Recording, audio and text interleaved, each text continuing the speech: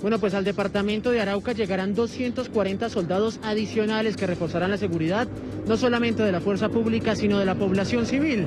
Y justamente, Julio, hablando de la fuerza pública y de los soldados, el Ejército Nacional también se encuentra realizando una correría por diferentes municipios.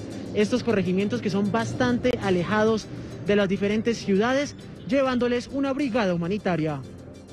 A orillas del río Meta, entre Garzas y Chigüiro, se encuentra ubicado el corregimiento de Bocas del Pauto, en el municipio de Trinidad, en Casanare. Un olvidado corregimiento hasta donde llegó el accionar humanitario apoyados del Ejército Nacional. Nos recibieron con mucho cariño, entregamos nuestro corazón, entregamos lo mejor de nosotros mismos para dejar una pequeña huella, generar herramientas para el desarrollo en una comunidad que tanto nos necesita.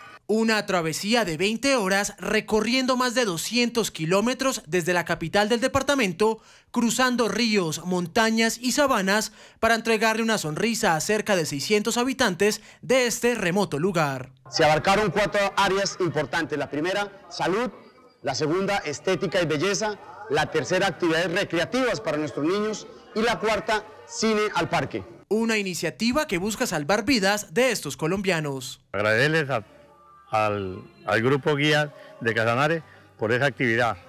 Tienen mi sincera reconocimiento que les hago y que ojalá vuelvo y les digo, ojalá no, no sea la última ni la primera, que de aquí para adelante van a seguir viniendo. Un sincero mensaje de estos llaneros que agradecen con una amplia sonrisa y su mano en el corazón.